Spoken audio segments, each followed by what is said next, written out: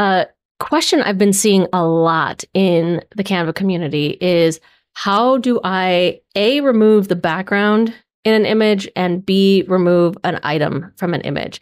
So that's what I'm going to show you guys in this video. I do want to preface by saying to do this in Canva, you do have to be in Canva Pro. That's where all the um, these types of magic tools live.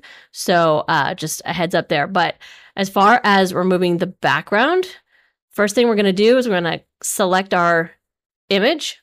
We're going to hit this background remover, which as you can see, it's got the little plus crown next to it or the premium crown. We're going to hit background remover and literally let it do its thing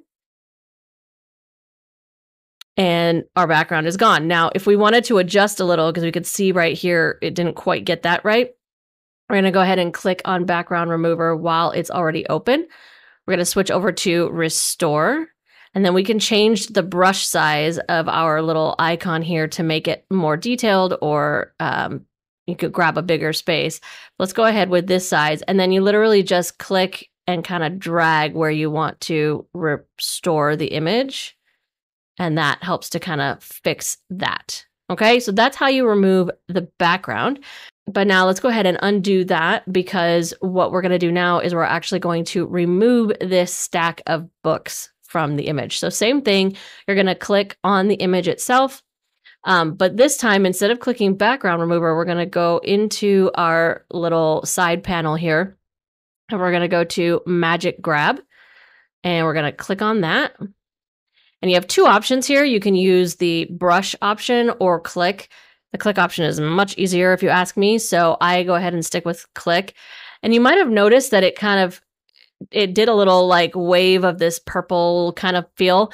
It it was finding things, objects to grab. So we could grab Bubba here if we wanted to, but why would we remove him? But let's go ahead and we could actually remove specific books. So let's say I just wanted to remove Infinite Game. We just click on that, hit grab. And then once it's done grabbing it, we'll just be hitting the delete button. It's literally that simple, but um, let's give it a second to finish.